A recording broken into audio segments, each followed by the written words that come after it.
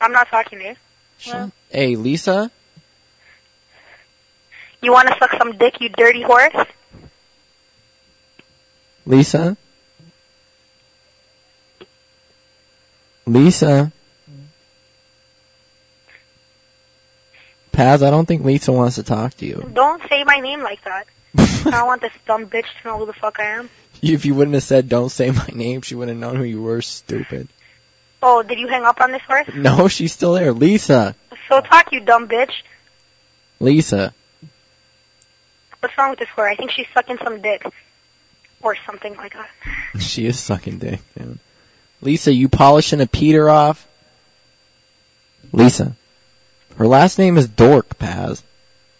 Her last name is what? Dork. Lisa Dork? Yeah. Ah, what a stupid bitch. Lisa, are you there? What a dumb bitch. Who really does that? Who answers the phone and doesn't say shit for like how long? Aw, she just hung up, dude.